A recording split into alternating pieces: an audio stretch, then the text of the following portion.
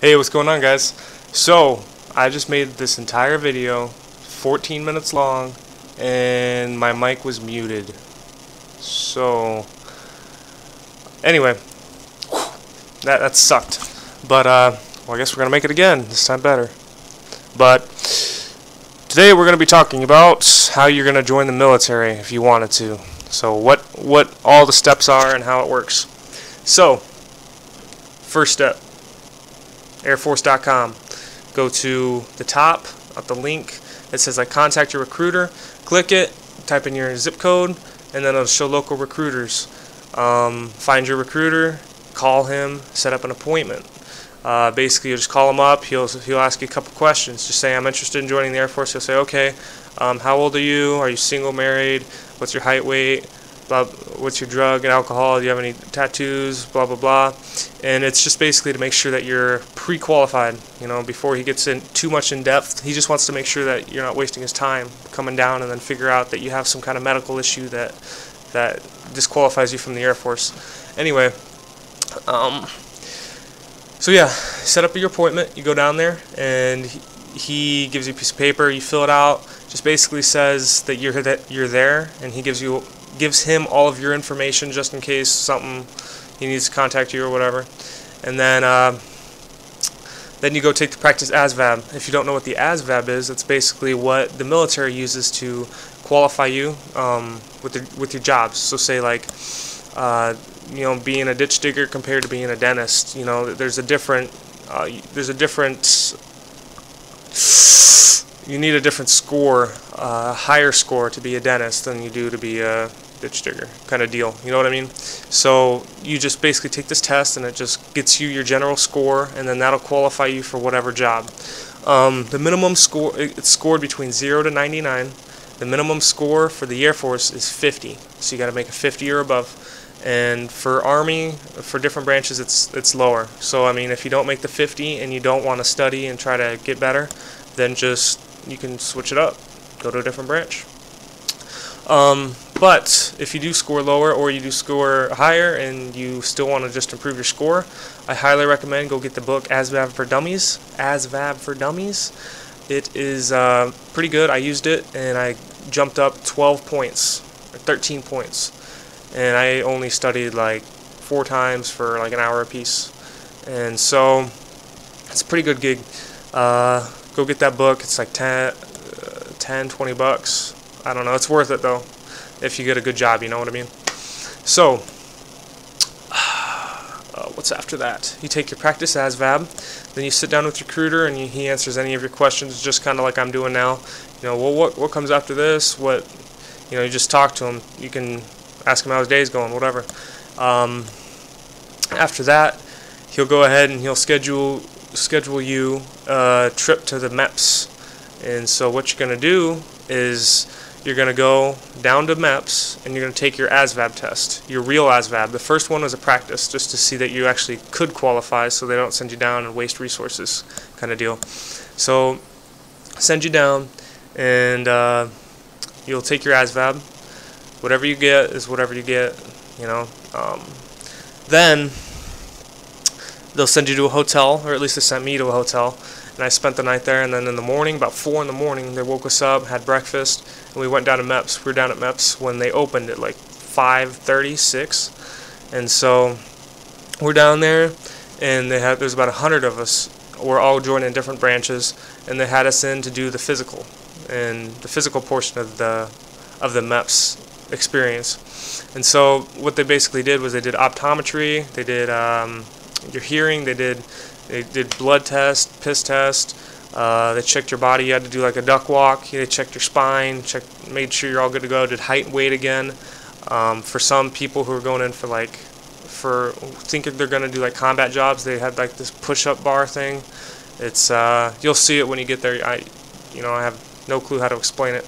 Um, they also do like this whole tattoo thing. They you tell them all about your tattoos and and um, tell them about any previous medical conditions you had and whatever and that's where you just go through and you see what's what's going on um that part kind of sucks because it takes a long time because there's a hundred people but you'll get through it and it'll be okay And then after that, you go back to your recruiter and you just tell them, "Yep, I went through MEPS. It's all good to go." And oh, oh, I'm sorry, I skipped something. Um, after your medical, you go in and you talk to your office. So your branch, there's four different branches or five because Coast Guard, and you have your different office, and you go in there, and basically, you just talk to your dude, to the guy there, the Air Force guy, and he'll have give you like this six page, six pages of uh, jobs. You just look through them, and you can. That's where you pick if you want to be mechanical, administrative, whatever, or whatever, and. Uh, you so you pick okay I want to be I want to be electrical at this point.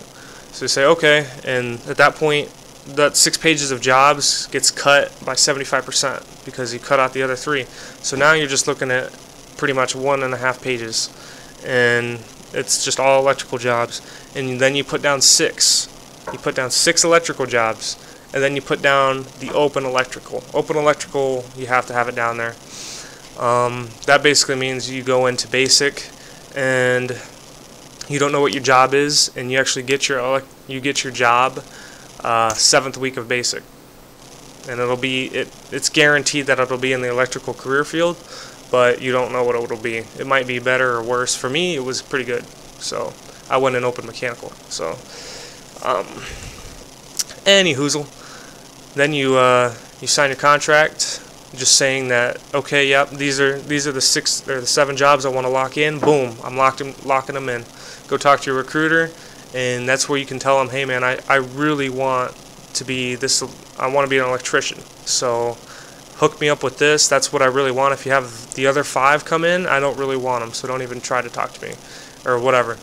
And be like, okay, man, sounds good and he'll call you up whenever he gets a job. If he says something like, "Hey man, I got open electrical," and you don't want open electrical, you could say, "Okay, well, give it to somebody else. I don't want that. I want electrician." And he'll say, "What? Are you sure?" You know, and it'll kind of piss him off because he just wants to get you out of here quick. You know, if once he ships you off to basic, you're not his problem anymore, kind of deal. You know, he don't look at recruiters as being bad people. I mean, my recruiter was awesome, but that's really how it goes. You know, if he has something in his heart that makes him want to help you more than just sending you off, then whatever. But if he doesn't, don't let that. Um, don't let him take advantage of you. Okay, you're your own person. You can make your own decisions. Uh, just tell him, no, I want to be an electrician in the Air Force. So I'll wait as long as it takes. And then eventually he'll give you the phone call. Okay, we got your electrician job. Come on down. And you go on down to the to the office and uh, sit down. You'll have your contract. You'll have your ship date on there. This is where you fill out a bunch of paperwork. Um, somewhere in between this time, between the time from MEPS and the job, you'll be contacted by a security clearance guy, and you'll come down and you'll go over all your criminal records and make give you security clearance pretty much. Okay. Anyway. Uh, so you get the job, sign the contract, and at that point, you get enrolled in the DEP program. DEP program is basically, for me, what I had to do was, uh, it's delayed entry program. What I had to do was every Saturday we met up at this park, and we just went, um, or it wasn't every Saturday, every first Saturday of the month, went to this park, and we just hung out and uh, he basically told us any up to date any information. We had to sign like different sexual awareness waivers that just came out and you know he basically just gathered up all his people who were waiting to get a job and uh, just talked to us all at once. So we did that and then he also shot us text messages like every Monday saying hey have you done any DUI or have you gotten any speeding tickets? Are you still good?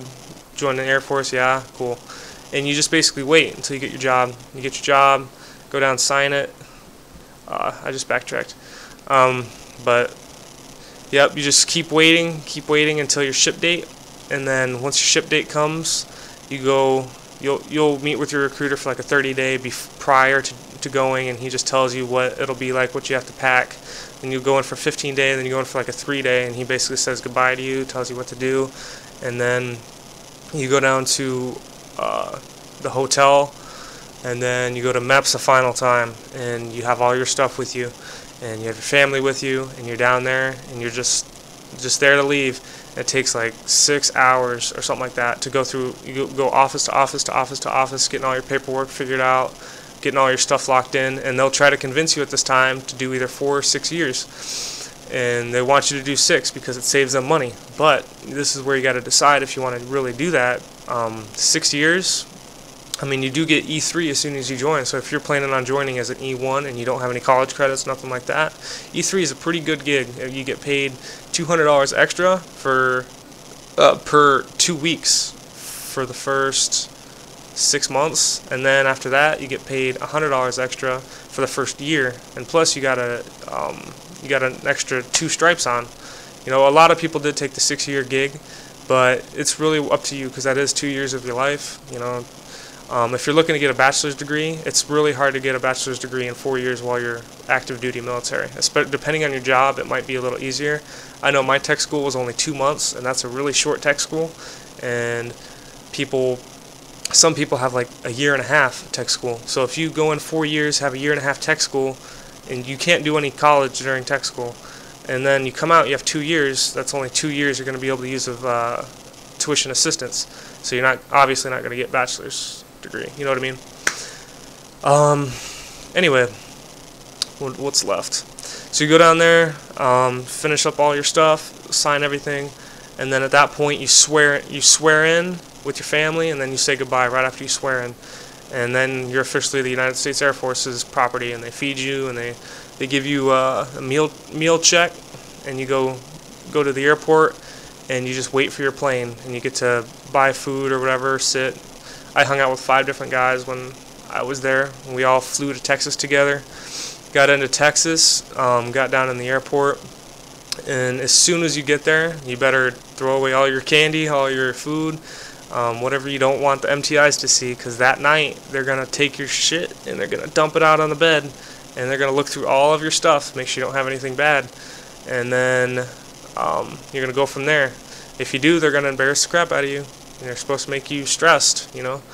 So, like me, uh, I have a really caring girlfriend, so she gave me about a hundred pictures of us, and so I had those laid out on the bed. And my MTI had to take them, and he had to look through every single one of them. And there was one where I was shirtless, and he took this and he's like, and like ripped it, and like made a big deal about it. But uh, yeah, so just don't bring anything embarrassing. Um, if you, I don't know, or hide it in your sock or something, I don't know, whatever. Just, just be aware. Anyway, you get down there and you'll sign this this check-in sheet. And meanwhile, while you're doing this, there's some civilian guy just yelling at you, telling you to look forward, not to laugh, not to smile, not to do nothing.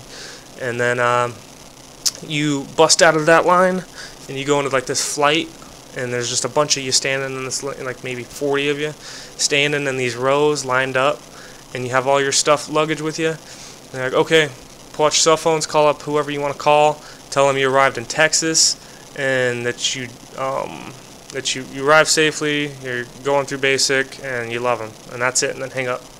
So you got to do that. Psh, that's the last time you get to talk to them for a couple days, and then you're on your way. You go into Lackland Air Force Base, um, and you go there, and they set you up with your with your packets and you do all your paperwork and then you go into um, another processing thing, you get fed, and uh, then you go into your room or your, uh, what the hell do they call it in basic?